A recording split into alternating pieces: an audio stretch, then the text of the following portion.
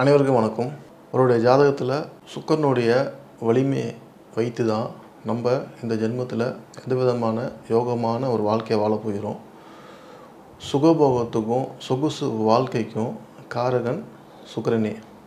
நம்மளுடைய அழகும் நம்மளுடைய உடுத்தக்கூடிய உடை சித்திரனும் நாணம் சொல்லக்கூடிய அந்த பாட்டு பாடக்கூடிய அந்த ஒரு நாணத்தையும் சரஸ்வதி அருள் இசை சம்பந்தப்பட்ட விஷயங்கள் மியூசிக் சம்மந்தப்பட்ட விஷயங்களை சொல்லக்கூடியதும் சுக்கரன் பகவான் தான். இந்த சுக்கரன் எங்கெங்கெல்லாம் இருக்காரோ அந்த இடங்கள் எல்லாமே வந்துட்டு கண்ணை பறிக்கிற அளவுக்கு பிரம்மாண்டங்கள் வெளிச்சங்கள் எப்பயுமே வந்து நம்மளை வந்து ஆச்சரியப்படுத்திகிட்டு இருக்கும். அந்த சுக்கரன் தான் நம்மளுடைய வாழ்க்கையில் ஆண்களுக்கு வரக்கூடிய மனைவியும் பெண்களுக்கு பெண்களுடைய அழகும் அவங்களுடைய தனித்தன்மையும் ஆற்றலையும் சொல்லக்கூடியது. நமக்கு தேவையான செல்வ வளத்தையும் வரவையும் அனைத்தையும் சுக்கரன் பகவான் தான் குறிப்பார்.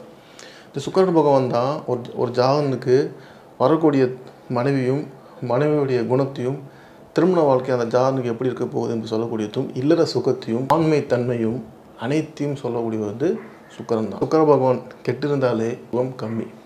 அப்போ கணவன் மனைவிக்குள்ளே இருக்கக்கூடிய அன்பும் இல்லற வாழ்க்கையும் பரஸ்பர புரிதல் அனைத்துமே சுகரம்தான் அப்போ சுக்கரன் நம்ம ஜாதகத்தில் எந்த அளவுக்கு பலமாக இருக்கோ அந்த அளவுக்கு நம்ம இந்த வாழ்க்கையில் வந்துட்டு மிக சந்தோஷத்தையும் ஆனந்தத்தையும் அனுபவிப்போம். இப்போ பணம் பொருளாதாரம் இருந்தால் மட்டும்தான் வாழ்க்கையில் வந்து சந்தோஷம் கிடையாது. நம்ம வாழ்க்கையில் நம்ம கிடைக்கக்கூடிய சின்ன சின்ன விஷயங்களை வந்து அதை உணர்ந்து அந்த நொடியில் அனுபவிக்கக்கூடிய ஒரு ஆற்றலை சுகந்தான் தருவார். லக்கணத்துக்கு ஏழாம் இடத்துல இருந்துச்சுன்னா இந்த காரக பாவ நாஸ்தி அடிப்படையில் பாதிக்கப்படுகிறார். அப்போ சுக்கரன் பாதிக்கப்படுகிறார் சொல்லும்போது ஒருவருடைய ஜாதகத்தில் இப்போ மேச லக்கணத்தில் பிறந்திருக்காங்க. மேச லக்னத்தில் பிறந்து லக்கணத்துக்கு ஏழாம் இடத்துல போய் சுக்கரன் இருக்கார் சொல்லும்போது கண்டிப்பாக அந்த சுக்கரன் வந்து காரக பாவ நாஸ்தி தான் விஷேக லக்னத்தில் பிறந்து சுக்கரன் லக்னத்துக்கு ஏழாம் இடத்துல இருக்காருன்னா அந்த சுக்கரன் காரபாவ நாஸ்தி தான் அப்போ ஒரு பாவத்துக்கு ஒரு கா ஒரு பாவத்துக்கு அதிபதி அந்த காரகாதிபதியே ஒரு வீட்டில் போய் அமர்ந்தார்னா அந்த வீடு வந்து பாதிப்பு தருது. இப்போ ஒன்பதாம் இடம் சொல்லும்போது தந்தை.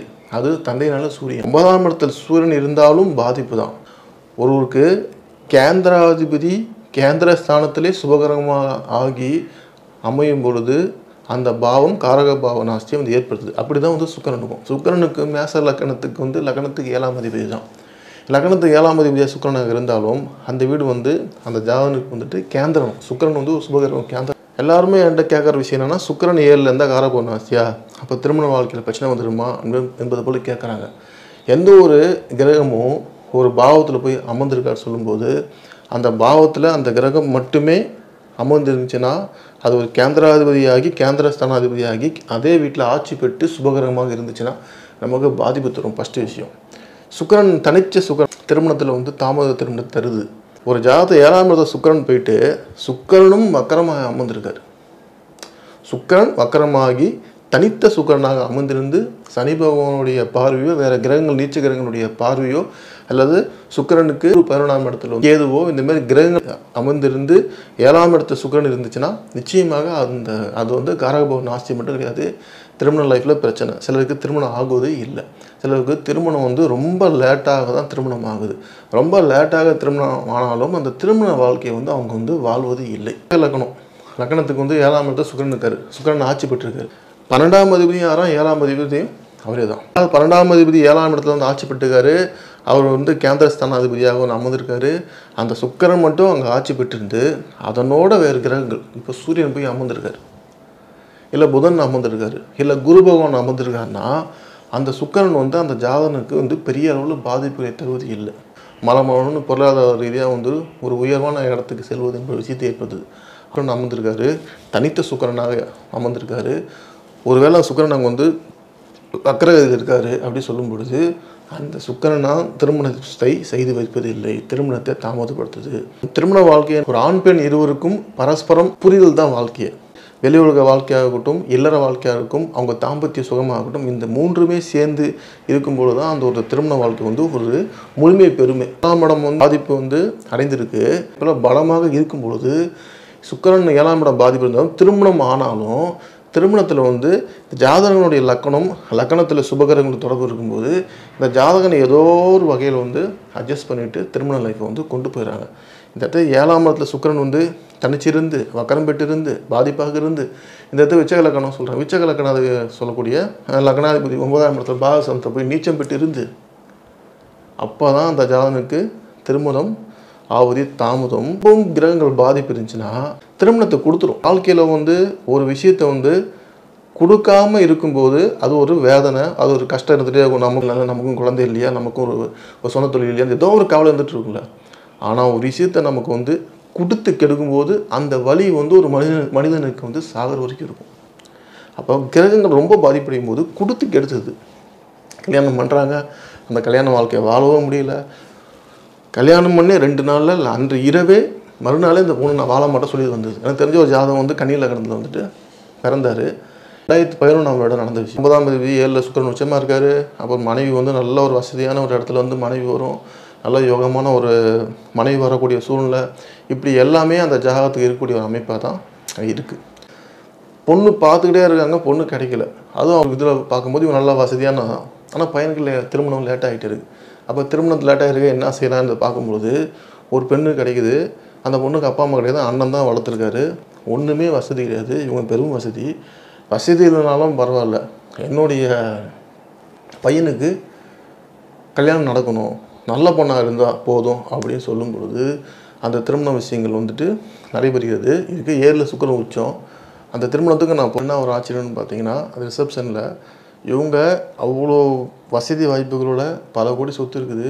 ஆனால் அந்த பொண்ணு கழுத்தில் மஞ்சக்கீறு தாலியை தவிர ஒரு கிராம் நகை வந்துட்டு அந்த பொண்ணுடைய இதில் எங்கேயும் போடல. எனக்கு ரொம்ப ஆச்சரியம். அது என்ன காரணம்? அந்த பொண்ணு வறுமையாக பெண்ணாக இருந்தாலும் இவங்க அவ்வளோ வசதி ஒரு நெக்லஸோ ஏதோ போட்டு அவங்க வந்து தன் மருமகளை அழகு பார்த்துக்கலாம். ஒரு கிராம் நான் பார்க்கல. மொட்டையாக இருக்குது கழுத்து நகையே இல்லை. எனக்கு ரொம்ப ஆச்சரியம். இந்த ரிசப்ஷன் நான் போகிறேன் அவங்களுக்கு ஒரு கிஃப்ட்டு பண்ணுறேன் பண்ணிட்ட பிறகு நான் பார்க்குற விஷயம் என்னென்னா இது சம்மந்தமே இல்லையே. இது இது இந்த பையனுக்கு ஏழு சுக்கரம் உச்சம். ஆனால் வந்த பொண்ணு வந்து அவ்வளோ ஒரு ஒரு வசதி வாய்ப்பு இல்லைனாலும் பரவாயில்ல. அந்த ஒரு பொலிவு இருக்குல்ல சுக்கர்னாலே வந்து ஜெகஜோதி ஒரு போலியான ஒரு பொலிவு மேக்கப்பு எதுவுமே கிடையாது. கல்யாணம் நடக்குது.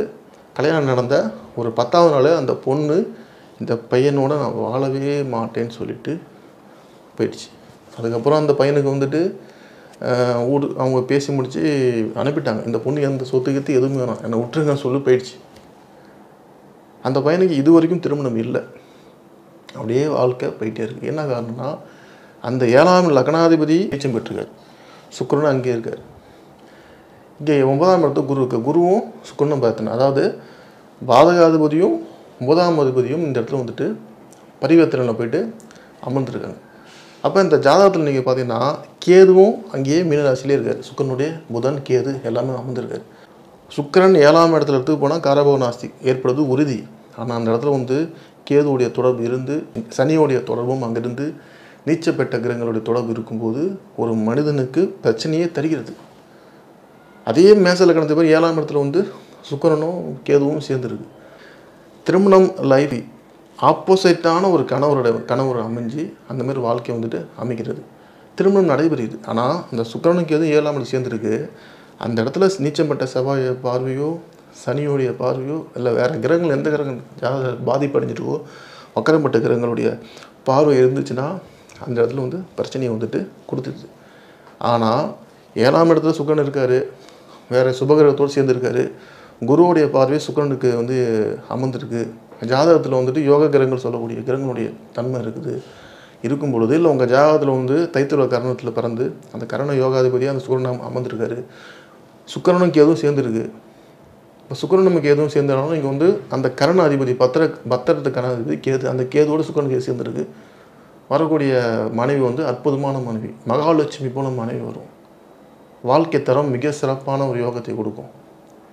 ஆனால் அந்த சுக்கரனுக்கு எதுவும் சேர்ந்துருக்கு? இல்லை சுக்கரன் ஏழாம் இடத்துல வந்து காரபூர்ணாஸ்திக்கு வந்து அமைஞ்சிருக்காரு ஆட்சி தான் பெற்றிருக்காரு. திரிசூன்ய ராஜாச்சு நம்ம என்ன பண்ண முடியும்? நம்ம ஒரு ஜாதகத்தை பார்க்கும்போது பொத்தம் பொதுவாக இந்த கிரகம் வந்து ஏழாம் இடத்துல இருந்தால் பாதிப்பு கொடுத்துருமா? இந்த கிரகம் இப்படி தான் பாதிப்பு தெரிஞ்சிருமானா அப்படி செய்யாது. சுக்கிரன் வந்து அந்த சுக்கரனுடைய சுபகரங்கள் இருந்து குருவுடைய பார்வையும் இருந்து குருவோட பார்வையே தேவையில்லை. லக்கணத்தில் ஏழாம் சுக்கரன் இருக்கார். அந்த சுக்கரன் வந்து பாதிப்படையாமல் இருக்கார். சுக்கரனுக்கு கேதுடைய தொடர்போ பாவகிரக தொடர்பு எதாவது எல்- எதுவுமே இல்லாமல் இருந்தாலே போதுங்க. நல்ல அற்புதமான வாழ்க்கை. வாழ்க்கை துணை கழிச்சு ஒரு ஆனந்தமான இந்த வாழ்க்கையில் வந்துட்டு வாழ்ந்துட்டு போகலாம். நன்றி.